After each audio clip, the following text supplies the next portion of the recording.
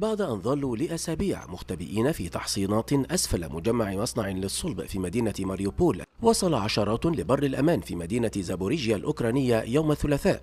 وتأهبت المستشفيات لتوفير علاج لكل شيء سواء حروق أو سوء تغذية أو غير ذلك.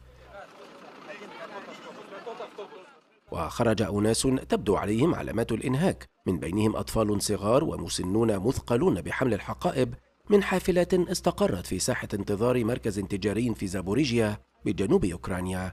ولا يزال هناك أكثر من 200 مدني في مصنع أزوفستال للصلب بحسب فاديم بايتشينكو رئيس بلدية ماريوبول مع بقاء 100 ألف مدني إجمالا في المدينة التي دمرها الحصار والقصف الروسي على مدى أسابيع.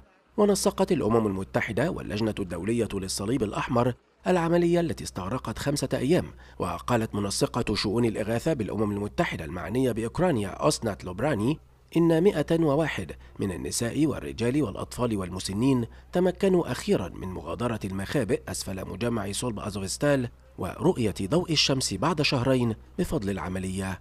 وتحول مجمع أزوفستال الصناعي مترامي الأطراف ومخابئه وأنفاقه إلى ملاذ لكل من المدنيين والمقاتلين الأوكرانيين في ظل محاصرة موسكو لماريوبول. وكانت القوات الروسية قصفت مصنع أزوفستال يوم الثلاثاء مؤكدة تقارير سابقة عن غارات على المصنع المحاصر.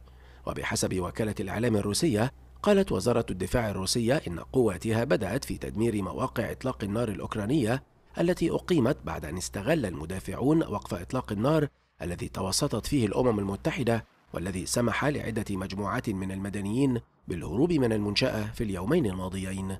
وقال مسؤول في شرطة ماريوبول إن القوات الروسية بدأت في محاولة الاستيلاء على المصنع الضخم وهو آخر جيب في ماريوبول ما زال تحت سيطرة القوات الأوكرانية. وتعتبر ماريوبول هدفا رئيسيا لروسيا. حيث تسعى إلى عزل أوكرانيا عن البحر الأسود وضمها إلى الأراضي التي تسيطر عليها روسيا في الجنوب والشرق ويقع مصنع الصلب بالقرب من الطريق السريع الرئيسي بين الشرق والغرب في جنوب أوكرانيا.